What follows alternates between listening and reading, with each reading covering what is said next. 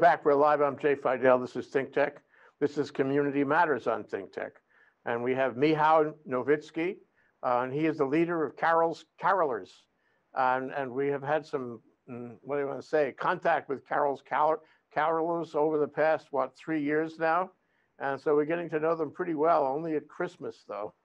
and they've been very kind to us. They've come to our Christmas gatherings and, and they've sung in groups and and this year, because it's, um, it's been virtual, um, they gave us their product uh, as three separate videos. One was Silent Night, one was Come All You Faithful, and the third was Joy to the World. And we are so, we are so joyous to have them. Welcome, Michał. Thank you for having me. Yeah, great to see you. So, um, so we're going to play uh, "Come All You Faithful" first. I'm sorry, we're going to play "Joy to the World" first and we'll play the others uh, down line in the show here. But can you give us a little background on, on how you put this together? Because this is an extraordinary video.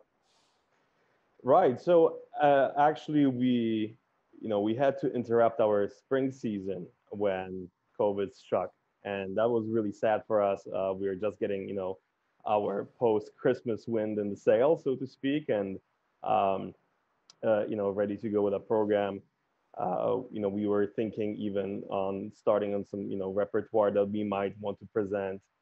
This coming summer, we were hoping to do a little carolers trip um, outside of Hawaii. And, uh, you know, so we were really excited about it. And then, of course, you know, we, we decided to stop rehearsing and stop meeting. Um, and and and soon after, of course, there was a whole buzz about oh, you know, making music virtually and doing it together via Zoom, and and a lot of enthusiasm behind it. And of course, you know, really quickly, everyone found out that wait a second, it's not quite this easy. no, not easy at all. Yeah. and there's a whole tech side to it that most, uh, you know, musicians did not train. You know, and and and and and you know, everyone has a little bit of know-how how to do things. I think technology has advanced and and made it more accessible for a lot of people, but it still took quite a bit of tinkering to figure it out. But actually, in that spring, um, uh, my brother Karol, who is the musical director of the group, I'm, I'm, I'm in the shadows running the logistics most of the time, but he really is, you know, the, well, the namesake of the group and, and the person who, who, who put it all together. Um, you know, he, he laid down some tracks for a couple of, uh, you know, secular non-Christmas songs for our spring season. And and we just wanted to do an experiment and see how we could adapt and do it. And there were just too many challenges for us at that time. And uh, I don't know if you remember, but I think at that time we all kind of thought that, oh, maybe this will just kind of come and go in a couple of weeks. And, uh, sure. and, and, of course it didn't. So as, as week after week and month after month passed, um, you know, I think everyone in the group was getting more and more starved for music. So kind of the motivation to do something increases. And, and with that, I think the willingness to, to take some risks, to, to, to try something new. And uh, actually it was the, your email, Jay, that, that um, you know, um, that I sneakily use as leverage for our group, you know, saying like, well, our friends at ThinkTech are having a virtual holiday party and they would like us to sing for them. So what do you say? We we do it. And and and at that point, everyone, this was uh, I am not kidding you. This this was the fastest response we've received from everyone. I think at the time we had 13, 13 members. The membership changes a little bit every year. And within 24 hours, we've got 13 yeses, which, which never happened before. And then, and then, of course, okay, well, I guess we'll have to figure out how to do it exactly. And uh, well, and I hope that that you know we we um, we managed to put something together. Oh, you did. It's beautiful. You know, in the past, we've done um, similar, mm, call, call it COVID chorales with Chamber Music Hawaii and with the music school at UH. And the difference, uh, I might add, and I'm going to ask you about this, the difference is Chamber Music Hawaii recorded it separately and then edited the pieces one on top the other. Um, the music school uh, played at the same time. Um, and they managed to play over the web using Zoom, which was really very hard to do. I'm sure you went through that. So, but which me method did you use? Did you record it separately, one by one, one person by one person, or did you record it all together on Zoom?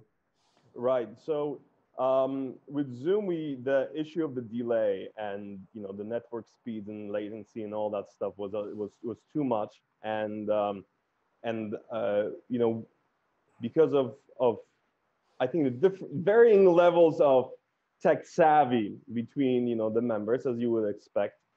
Um, you know we decided to try to facilitate the process by actually bringing creating a little studio in a in a, in a, in a separated you know section of uh, of our house and bringing people one by one on a you know on a, on a on a on a schedule.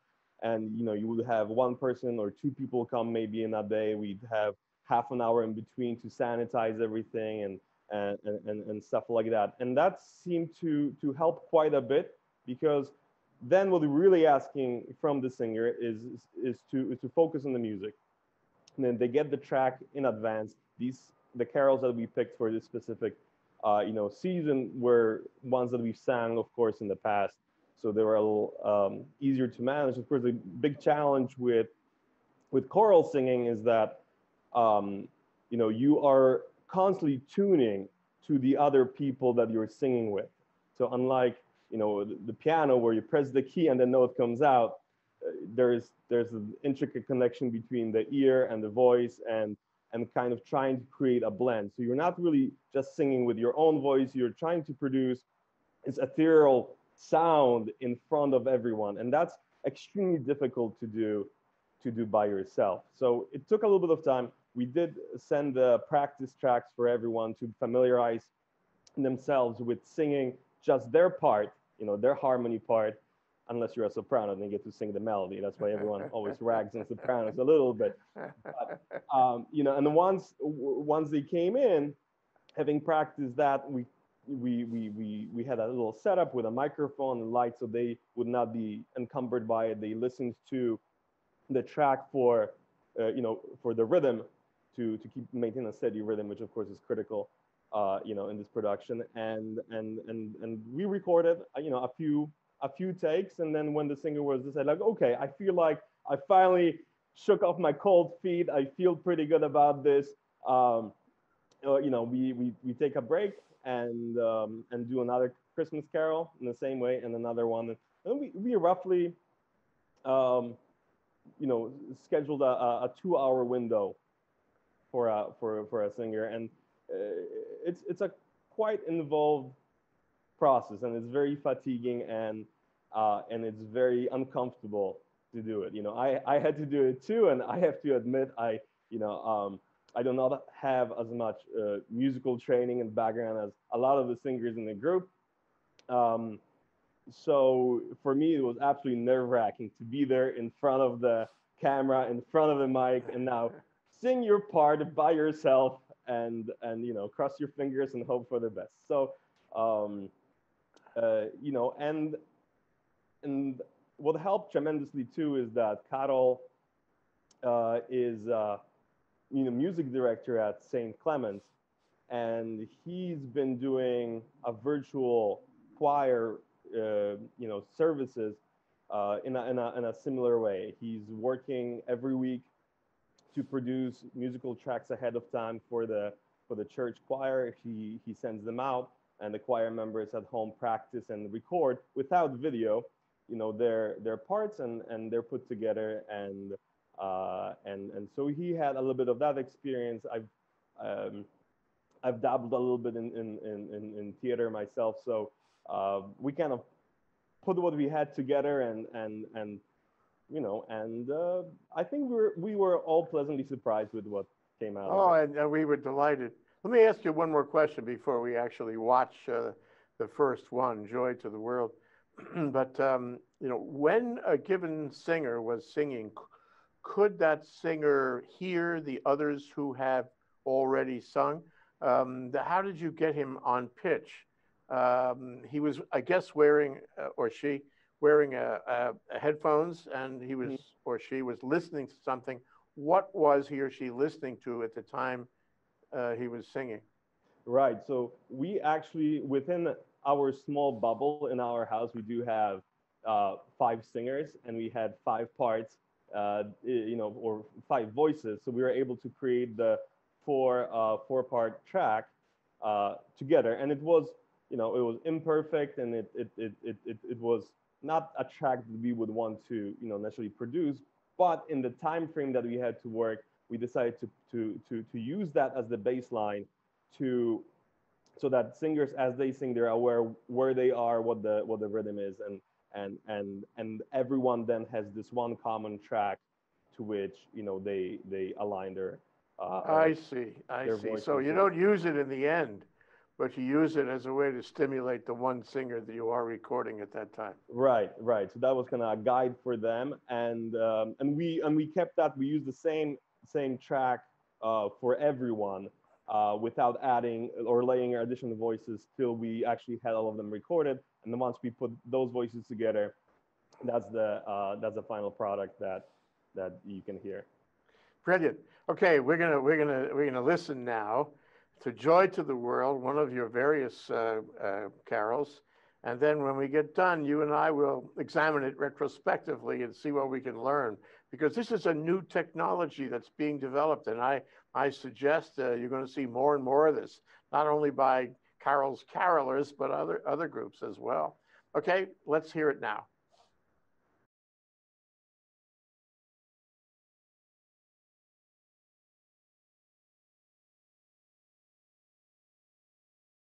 Joy to the world,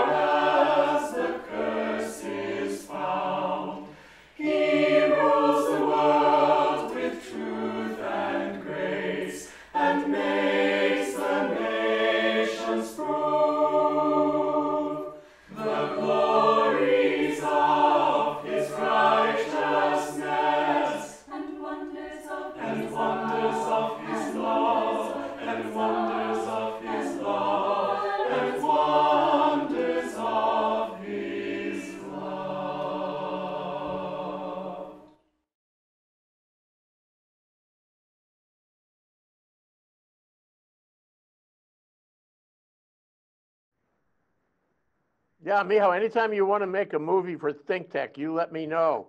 Because that, you know, that was, that was so sophisticated, the way you handled all that, those windows. Those are not necessarily Zoom windows. You had to edit them together in those, in that particular uh, organization. Um, the sound was really, really good. And um, the way you set it up uh, for the bumpers at the beginning and the end. Um, so that, that was you, right, Michał? um so yes. You know, most of most of the video editing, um, you know, I've I've tried to experiment with different, uh, you know, programs and um, and uh, I know there there new web-based, um, you know, apps that can help you with that, and there's you know, of course, a plethora of apps on the on the iPhone, but um, in the end, I end up downloading a free trial of um, Final Cut Pro and had to do a little crash course on that. And it was the only uh, you know, once you end up adding one video, another video, third video, fourth, and you have to have 13 videos of, you know, decent resolution on the screen. And, um, you know, Final Cut for me was the only one that uh, did not, so to speak, poop out under this, the under the pressure of that. Even though my computer shut down several times during the process. Unfortunately, it, everything was saved every time. So I have to say, you know, I was very, I was very happy with with how that turned out, even though it was quite frustrating, you know, when when everything is turtle speed and as you're juggling so many videos, of course, that's something that uh, I think nobody imagined that it, it, it would be, uh, you know, so so so heavy. I think. Yeah, yeah. Well, welcome to the world of video editing. It's, it's always like that. I'm telling you, you know, they, these products come out and say, oh, yeah, it's easy. Mm, there's always issues, always, no matter what, because the resources don't necessarily work together. So how did you, you did color correction because all the, all the singers look really terrific and they all had the same kind of color in them. Um, and, and of course you, you, you got the levels of the sound just right.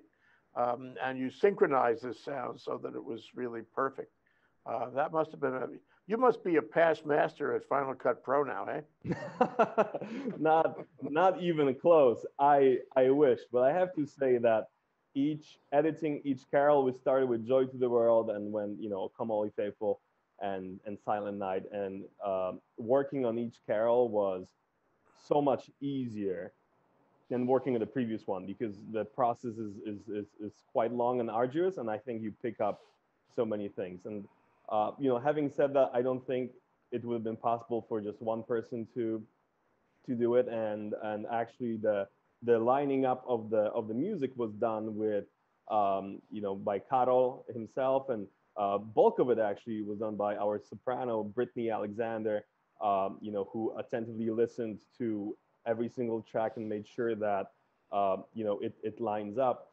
Uh, what I didn't realize uh, is is how how, how much the you know the the synchronizing um, how sensitive it is. And when when we speak to each other we speak over the phone we don't realize that these delays are there. And we're perfectly fine with that when you're putting sounds together you know one one tenth of a second is is audible and and and throws off the harmony. So getting things to you know one one twentieth of a second you know 0.05 and and those kind of precisions. And of course we couldn't catch all of it and it was impossible but Brittani did an absolutely outstanding job. Uh, you know Karol did a bunch of work and, and, and polishing. We also got some consultations from from uh, one of our tenors Bowe Souza who who had some experience working with GarageBand. He's uh, teaching choir at St. Andrew's Priory, so he also was experimenting with different with different ways to do it. And and um, yeah, it was it was really a, a a caroler village effort to put it all together. And of course, it wouldn't be possible without all the singers being willing to you know despite the times and these difficulties and how you know nerve wracking this process is uh, you know, to to give it their best and and and and uh, and make it happen. Yeah, and they had to record more than once and to get it to a point where you wanted it. Am I right? Yeah, absolutely. You know, it's it's it's funny because you when you see the product, it's like, oh, well, they just lined up right there, and you press the, the the record button, and it came out just the way it did. And and and no, you know, there was of course, of course, there's always a. a uh, one take when you realize, oh, the microphone was not on. Sorry about it. Let's do it one more time. Or you know, when you hear and it's a little too loud. We, where we record, you know, we're we're at an intersection of of of uh, of at least one loud street. So every single time, you know, there, if there's a ambulance or or or, a fire truck coming by, even um, even the postman, you know, it's it it makes it makes a big difference. You know, right now it's it, it, it's it's it's not so much when you have a Zoom call or talk to um, talk to someone over the phone, but when you're recording with a with a microphone that you know is is going to catch the sound, uh, uh, you know, it's going to catch everything. So Yeah. that's So, break into it. some questions then, uh, you know, from the editing point of view. Um, did, did you, I, I assume you, you worked the levels, the sound levels so that they be consistent. It's, it's, it's almost like conducting the thing um, in, a, in, a, in a classical format because you can control everything or almost everything. So, qu- question: Did you did you have to lengthen or shorten the duration of a given uh, singer and to match the others? You know, you can do that on on, on video editing um, just by a few frames. You know, to in order to synchronize it, make sure that they were perfectly aligned. Did you ever have to do that? Um, so I, I, I didn't. I, I, I worked with a video. I know that uh, Brittani and Karol, um, sometimes there would be, you know, an adjustment that you want to make because they the virtue of aligning 13 voices together, and there always will be some imperfection in, in, in, in just the alignment process itself. So, you know, maybe, you know, everyone can be still on rhythm, but because the, there are no visual cues for singers to naturally, you know, all of them cut off, it can be, you know, you get, you know, at the end of uh, end of a word, and and and so you can in post production, as you said, you can minimize that. So you can you can fade out a little bit of that, and and so you have you end up with a slightly cleaner sound. Um, but uh, for the most part, you know, those are just very small things that you can fix, and you really have to have uh, you know proper tracks to to to to have that. And you know, maybe we could do more magic if we had 30 or 60 singers, but with 13 singers on on on four parts, you're you know it's pretty tight.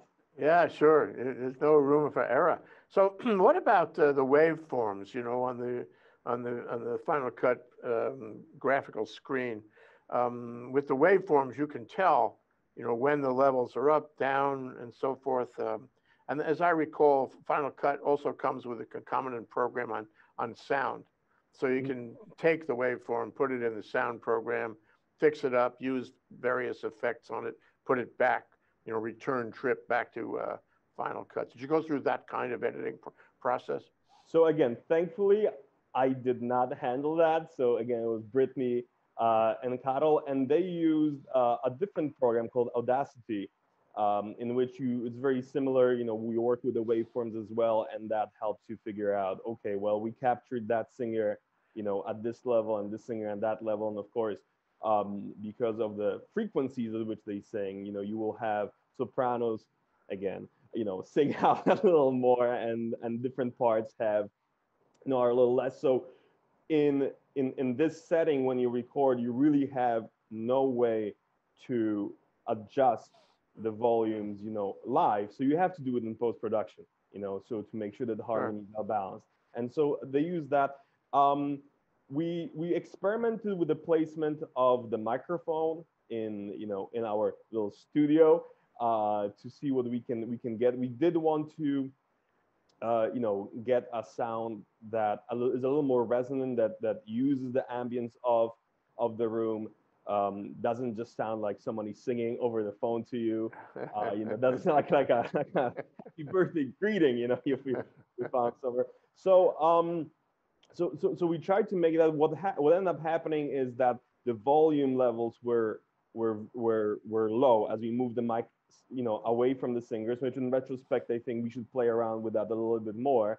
And because of that, the gain on the microphone had to be higher, which in turn, you know, would pick up, you know, um, uh, external sounds, external sure. External sounds all the time. So, and of course, we, we, we, we don't have the means to soundproof, you know, the, the room, so it would be a perfect studio. Um, so, of course, so the levels will adju were adjusted after that. And um, I think there might have been um, uh, uh, one of the the sound effects or or um, or settings changed to to have um, to make it seem like there's a medium size or a larger room. So there's yes, a little right. bit of that of the of that sound that of course you know that's that's produced. I'm not sure if synthetically is the right word, but but in post production and uh, and does not reflect the room in which the singers are singing, but produces the kind of sound that I think if we, had 13 singers and you were uh, in the audience, not live audience, it, this should be closer to what you would be experiencing. So, what size of room did you pick? Um, I think uh, the room that uh, I'm in right now actually is about oh, I forget. We measured at some point. I think it's about 20 feet by by maybe 15 feet or so. So it's a, a, decent sized room, and it has slightly higher ceilings than you know your your your normal apartment, and has a wooden floor. Um, and so when you do sing in this space as a singer, you you you get a little bit of of, of so to speak, you know, feedback of about how you sound, and you can make some adjustments to it. But it doesn't, it didn't translate to you know the sound uh, to the microphone the way we we anticipated it, it would. So it turns out um, more research is needed on our end on, with with that, and maybe Yeah. maybe use of the you know the, the the tools that there are to to to make to make the sound um, you know more authentic. Yeah, did you, did you, uh, one last technical question, did you, did you have to or want to or think about changing the pitch of a given, you know, because the technology can do that, just by a little half step, you know, quarter step, something. Um, did you have to do that or were they all on pitch anyway and there was no need? No, I think for um, for all the tracks that we end up using, um, the singers were on pitch with that. Ah. So of course, you know, it's it's very difficult again in, in an isolated setting to to do it. So when I was singing, I know for a fact I was staring at my brother who was by the camera with the mic, and he's just like, mm, "You're you're going flat." Raise it up a little bit, and then in the end, we end up not using that take.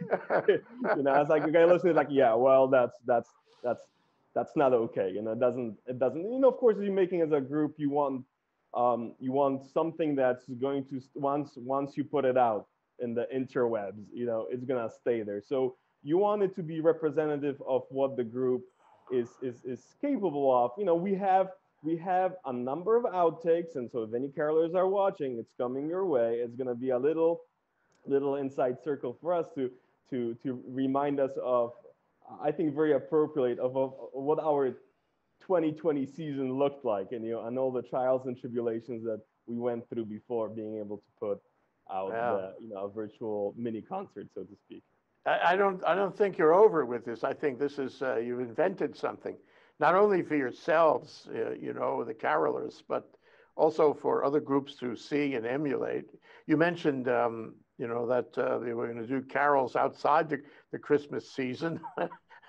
what, what is that like? Uh, you have to, you have to pick your work to sound like a Christmas carol, or what is a carol in that context? no so you know it, it was it was a um, of course it's a long-standing joke within the group that we do caroling outside of christmas season. We uh, you know for a number of years we've only done uh, concerts around christmas time and that was the original uh, you know thought behind the group. Uh, both Karol and i when we were we moved from uh, poland to new york 20 years ago in august you know 2000 and we in within a year or two, you know, we we both joined uh, we jo- joined choir in high school.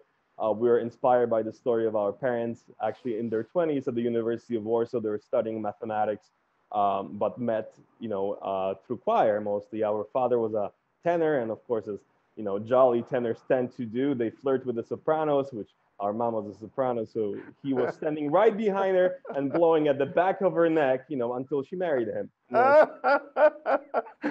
what a wonderful story. so you know so in, in our teens of course you know the boys from poland were like we're joining choir that's a that's a lesson right there and and you know and we we um uh, I think we owe to to our voice teachers, you know, Edwin and Susan Lubin from New York, um, who organized Christmas caroling, and we still use a lot of their arrangements that we used with them. We call them, you know, uh, affectionately uh, picture carols because they have beautiful pictures and and are the you know uh, are the simple settings of, of, of popular carols that uh, really resonate with us and and I think our singers uh, outside of the Christmas season you know we we decided um, I think first maybe in 2014 or 15 to do you know to a, do a spring concert and we introduced some you know Italian you know uh, madrigals and some Renaissance music and some some medieval uh, you know, type type music. So early music essentially. Um, and and as time progressed, we we introduced some um, uh, some some more recent arrangements of of, uh, of popular classical songs and and played around with that. So so to have a and then essentially it came because there was um, you know so much energy around the holidays, the Christmas time, and the once we uh, kind of the bubble bursts around New Year's, of course, when when when we stop when we stop singing, everyone's like, wait, wh- what are we doing now, right? We everyone in the group, you know, wants wants really wants to sing a, a year long, and I think that's what's so special about about this group. Yeah, oh, that's wonderful. I'm, I'm learning so much about you and the group, and I'm, I'm so impressed, and I'm so happy that you're here in Hawaii. You're, you're a resource, um, a fantastic resource going forward. I know we're going to see a lot more of you, but I, I have one more question uh, before we get back to the music as such. Um, and that is, you know, do you think it's possible from the experience you've had in putting these videos together to do them remotely. I mean, you got to have the best sound possible, got to have the best broadband connection possible. But do you think it's possible, from what you have learned here, to to create a group in various places uh, in the country and the world that could achieve the same kind of music? What do you think? Yeah, I, I think it is possible. I think it's you know it's it's difficult on many levels because of course when you have uh, you know when you set it up the way we did, I think that there's uh, quite a bit of support that we're able to to give each other. You know, even even though one person is singing at a time, we're still kind of in it together, and and you know we're taking care of the of the physical recording, of the setup, of the lights, and stuff like that. And if you do it purely remotely, then um, you know each person kind of has to set that up together by themselves rather, um, which which which is a challenge. It's a little more work I think for everyone to do, and and so you have to. Uh, I think you have to have uh, you know special people and, and and very special music enthusiasts and choral enthusiasts who are who are willing to to to to to kind of screen their surroundings and, and, and experiment a little bit and decide, you know what, I really want to do this project. I can record this at home. And, um, and of course, you know, there's, there, there's, there's a duality here. One part is the, is the sound, which you could, if you have a mic, you know, you could, you could record without the video. If you want to have a visual, uh, you know, to uh, accompany the music, then there's you know a slew of very different questions. Do you go for a uniform look? Do you do uh, kind of the raw zoom look together? I think right now the technology is not there yet for for people to come simultaneously and and produce that. You know, let's do one take together. Let's do three takes together and pick the best one. Uh, I think I think we're not there yet, as far as I I can tell. It's coming. I know it's coming, and you'll you'll be a leader what you've done is, is really remarkable, and I'm so happy to be the beneficiary of that. So uh, we, are kind of out of time, Michał. Um, and what I'd like to do, in view of the, the discussion we've had, is to um, play Joy to the World one more time on the way out. Okay, and then what I want to do is put Silent Night and Come All You Faithful. I want to put that in our overnight stream, and we'll play that again and again if it's okay with you. We'll, we'll make it our, our Christmas statement in our overnight stream. But before we go, I just want to ask you, what should we be looking for as we see Joy to the World for the second time in this show? What should we be particularly conscious of? Well, let me just say, I think you you should close your eyes, open your ears, and and enjoy and enjoy the music. I think um, you know, unless you're a you're a techie enthusiast and you kind of want to really listen and see what you know little nuggets you can find in there, you know, go for it. But I think for most of us at this time, and I think especially this year, um, I think that Christmas carols and this season, um, you know, put us in a, help us find the serenity that I think that we need. And I think all of us deserve after a very long and, and um, exhausting year, so to speak. Yeah, gee, I, I couldn't have said it better. You're absolutely right on. Thank you so much, Michał Nowicki. It's great to have you on the show, and thank you again for the music you have provided it is extraordinary and it has a great future here in Hawaii and, and elsewhere. Uh, aloha, aloha nui loa, okay? And now we're gonna we're gonna go out on on um, uh, joy to the world, being joyous about your music. Aloha.